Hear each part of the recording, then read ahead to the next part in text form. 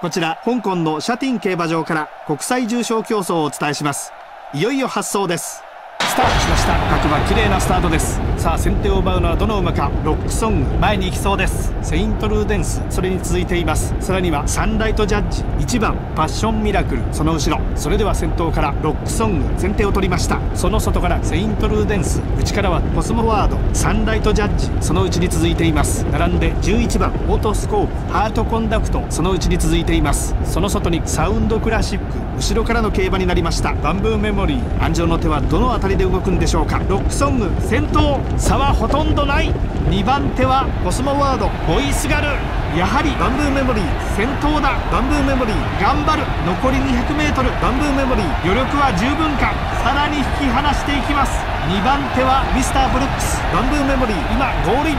段違いの強さです。バンブーメモリー。1着2着はミスターブルックス。世界の強豪を相手に見事な勝利を収めました。バンブーメモリー。まさしく日本が世界に誇れる馬です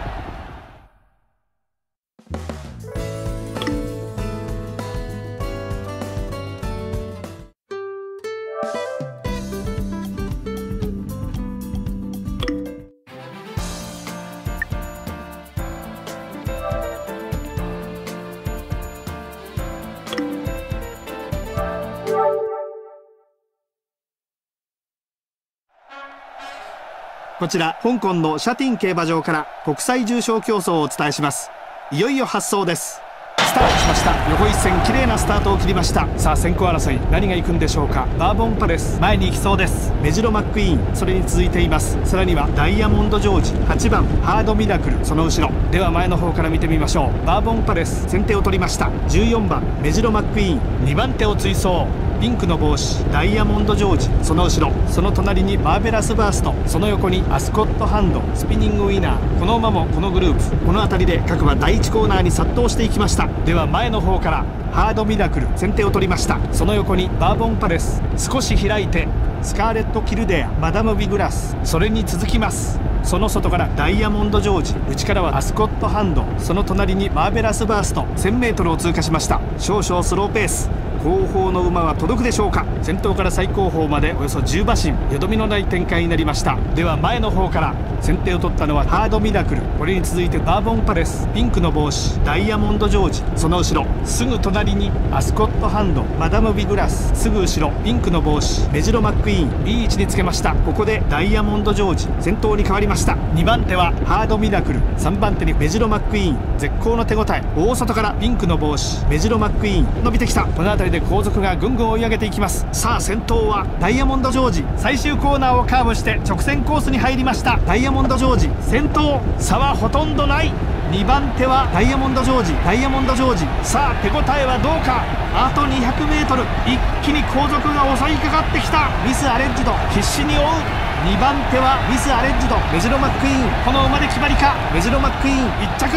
メジロマックイーン。完勝。メジロマックイーン。1着。2着はミス・アレッジド。世界の強豪を相手に見事な勝利を収めました。メジロマックイーン。まさしく日本が世界に誇れる馬です。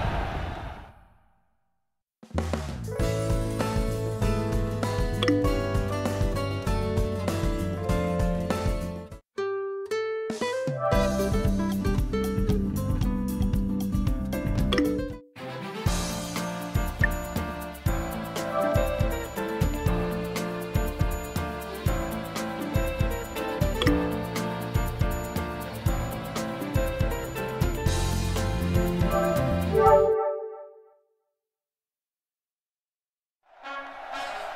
こちら香港のシャティン競馬場から国際重賞競争をお伝えします。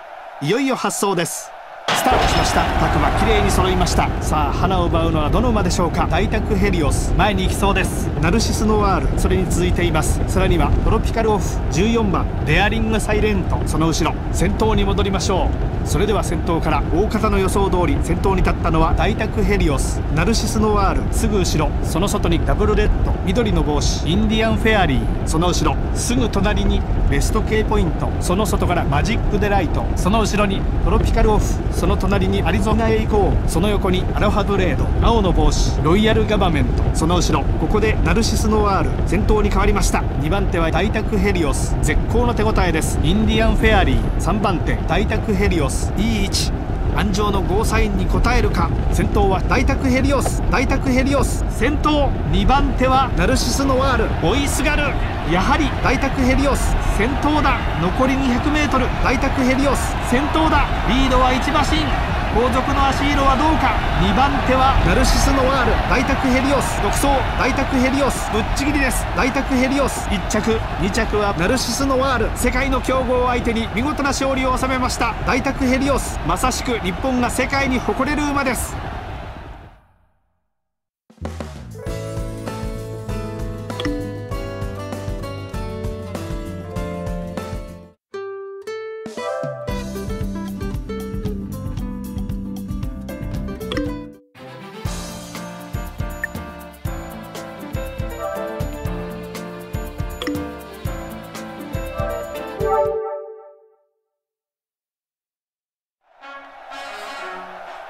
こちら香港のシャティン競馬場から国際重賞競争をお伝えします。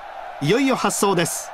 スタートしました。横一線綺麗なスタートを切りました。まずは先行争い。何がハナに立つでしょうか。ライトブロー前に行きそうです。タイトスポット。それに続いています。さらにはガンディレクター。5番ブレイクエリート。その後ろ。では前の方から。先手を取ったのはガンディレクター。この辺りで12コーナーの中間点を通過。では前の方から見てみましょう。タイトスポット。先手を取りました。ガンディレクター。それに続きます。青の帽子ブレイクエリート。その後ろすぐ隣に 3G ニアス。並んで13番ビッグロード。イクノディクタス。いい位置です。ゾーマすぐ後ろ。内からはスピークセゾン。その外からライトブロー。内からはファイアザグルーム。並んで14番 IC アベニュー。最高峰にファンタジーバージャー各馬鮮やかな芝生の上をかけていきます。1000m を通過。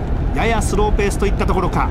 これが後方の馬にどう影響するでしょうか。先頭から最高峰までおよそ10馬身よどみのない展開になりました。さあ先頭はまだ9番ファイトスポット2番手はイクノディクタス絶好の手応えです。ガンディレクター3番手11番イクノディクタス差を詰めてきました。一気に先頭を捉えるか。ハイトスポット。先頭イクノディクタス。先頭2番手はハイトスポット。先頭を捉えるか。やはりイクノディクタス。先頭だ。残り 200m イクノディクタス。先頭だ。残り 100m イクノディクタス。先頭ゾーマ迫る。やはり強い。イクノディクタス。イクノディクタス。イクノディクタス。1着。2着にはどうやら。ハイトスポット。世界の強豪相手に見事な勝利を収めました。イクノディクタス。まさしく日本が世界に誇れる馬です。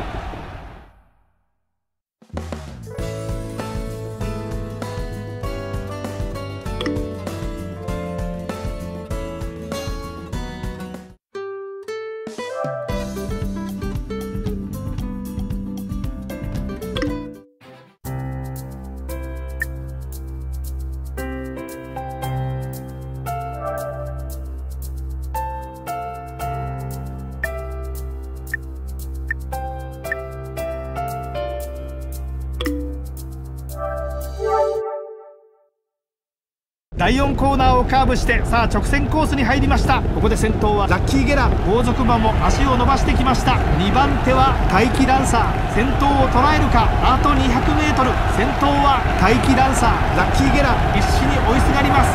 一気にスカーレットブーケ。スカーレットブーケ。スカーレットブーケ。大激戦のゴール前。果たしてどっちが勝ったのか。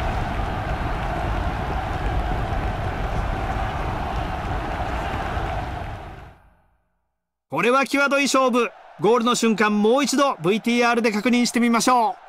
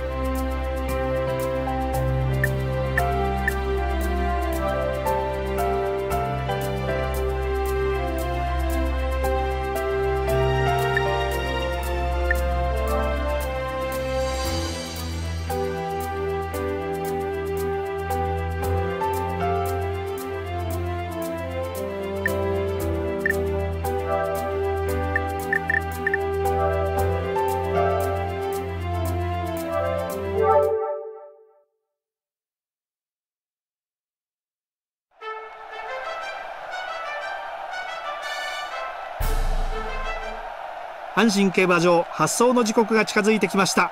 2歳牝馬の頂点をかけた戦い阪神ジュベナイルフィリーズ。芝 1600m は桜花賞と同じ舞台。来年のクラシックを占う意味でも重要なレースです。さあ最後は大外枠のマウンテンウイング。ゲートに入って体勢が整いました。スタートしました。各馬揃った見事なスタートを切りました。さて何が行くのでしょうか。ディンドウィンディ前に行きそうです。続いていくのがアラビアキャッチ。バンダムモデル。そのうちに続いています。内からはエアキューティー。その外からストレートボード。内からはタイキジュリエット。その外からカリスマスケール。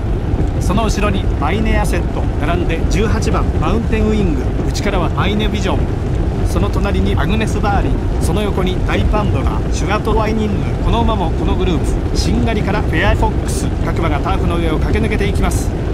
ここまでほぼ平均ペース展開への影響はなさそうです。先頭は依然としてディンドウィンディ2番手はタイキジュリエットニシノフラワー3番手スパークキス。これはいい位置につけています。この辺りで後続がぐんぐん追い上げていきます。4コーナーをカーブしてさあこれからです。最後の追い比べ先頭はニシノフラワーニシノフラワー先頭2番手はスパークキス。残り 200m 西のフラワー先頭だ。リードは1馬身。後続の足色はどうか。2番手はスパークキス。西のフラワー。この馬で決まりか。西のフラワー今ゴールイン。段違いの強さです。西のフラワー1着。2着はスパークキス。見事に勝ちました。西のフラワースパークキス。2着止まり。しかしなんとか面目を保ちました。